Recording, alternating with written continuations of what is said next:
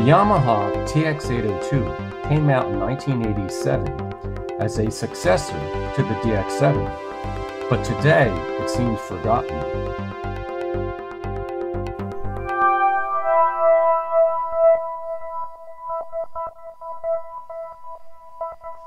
No one mentions using the TX802 in emails that I received, so I thought I should do a review of it.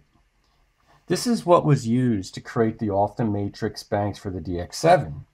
It's essentially a DX7 II in a rack, but it has the advantages over the keyboard models by being 8-part multi-timbral with 8 individual outputs.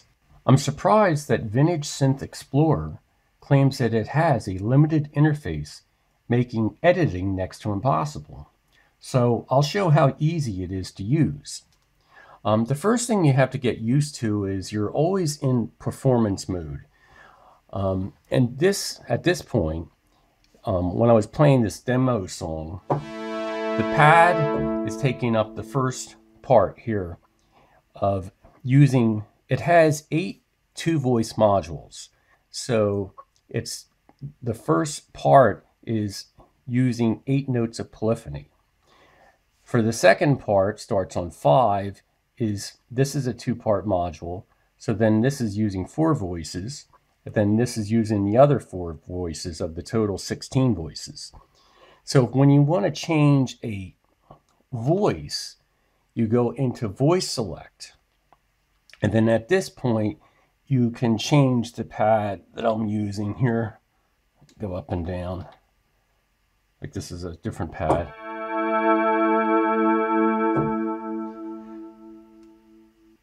So that's the first thing you have to get used to. So if you want to change this and you select over here, then that changes the voice. So if you want to get rid of a voice, you do this. Is now this is actually using 12 voices and the last four to this. So now I'll go back into here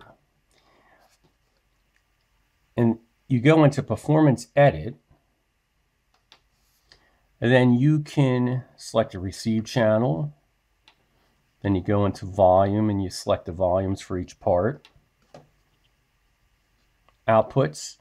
Now what's nice about this you can select it has two um, outputs for the stereo. And usually what I do is for part one I have a pad and I use more reverb to that channel.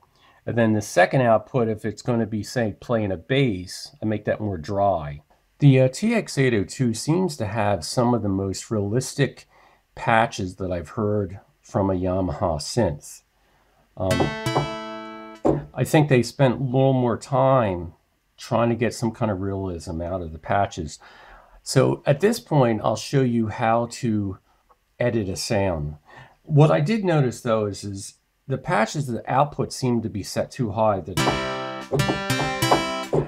that it would sound better if you lowered the tone because it's almost like a distorted quality. But as far as the realism, I can show you, this is how you edit the sounds is through this section, you can see operator on and off. So by selecting a number of their six operators, you press three and it turns off Actually, you have to press enter in three.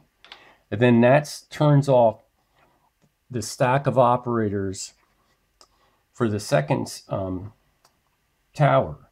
So now you only see here operators one and two, and it has like this nice thump quality. The patch is called Guitar Box. And if you let go quickly, it's got a squeak in the sound even. But the problem is, is the main body of the tone didn't sound realistic. They got the, you know, the quality of the, the sounds sounds good for the, the note off. Now I've selected the Off The Matrix Old Rhodes patch. And I'll show you how to layer it with a pad. So I'll just select another voice here.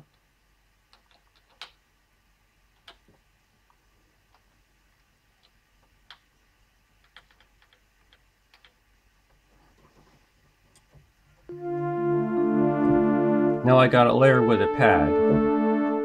But the pad's too bright, so I can go into voice edit and then check the algorithm. So I know which operators I need to lower the, um, to make it softer. And this is using, what's nice, this has got this little pull-out sheet that shows you the different configurations of the algorithms. So I need to change the output level of operator 2 to make it softer. So I go into operator, oscillator actually, and then pushing 1 changes the operators. So I'll go into level here, and I'm going to lower this a bit and just type in a number around something like 60, I think. Yeah, I think that's better. But then also I'll lower 6. Bring that down a little.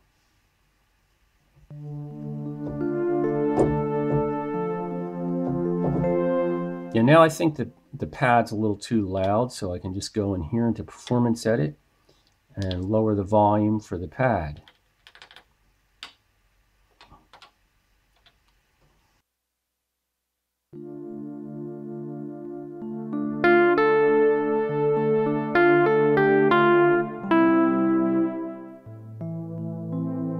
So, you know, it's not that difficult to use.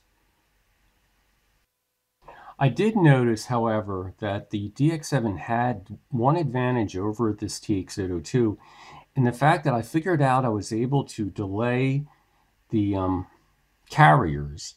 So you could have a sound where you would want one tone to start before the other.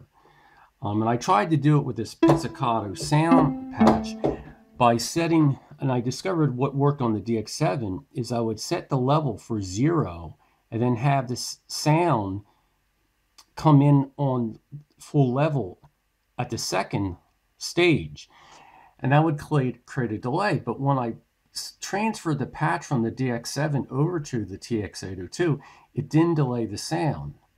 Um, and it's really a minor thing, but some pads that I created on the SY99 would be great if I could have a second oscillator delay a, a fraction of a second. Um, but this is how it sounds on the SY99. You can hear that little, and it really works well for layering with samples. If you are looking for a synth that can use DX7 patches, and if you don't need a keyboard, this is what I would recommend. Because you won't lose money by buying vintage. I uh, got this TX802 over 20 years ago for only $200. Um, but today I see on the market, they sell for around 600 and they're very reliable. Yamaha's keyboards, I've never had problems with them, which is not the case with Roland. But there is some other FM synths like Korg's new Volca FM, but it's really limited what it can do because it only has six voices of polyphony, and the original model only had three voices. When I tried to do a demo mix with my TX81Z, I found its eight voices to be limited.